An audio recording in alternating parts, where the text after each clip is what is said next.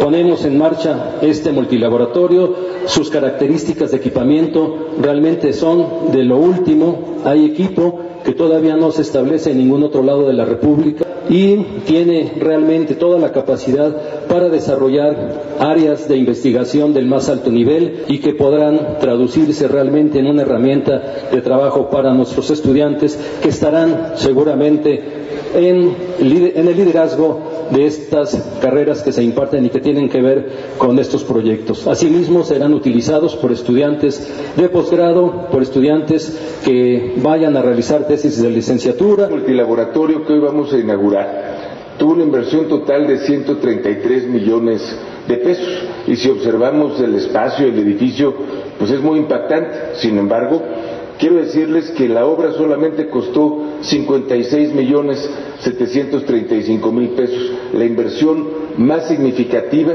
está en el equipamiento. 76 millones 975 mil pesos. Yo creo que difícilmente encontrarán incluso en alguna institución privada los equipos que hoy tenemos. La capacidad que ha tenido el señor rector de articular los esfuerzos de la universidad con el gobierno de la República y con el gobierno del Estado nos ha permitido trabajar juntos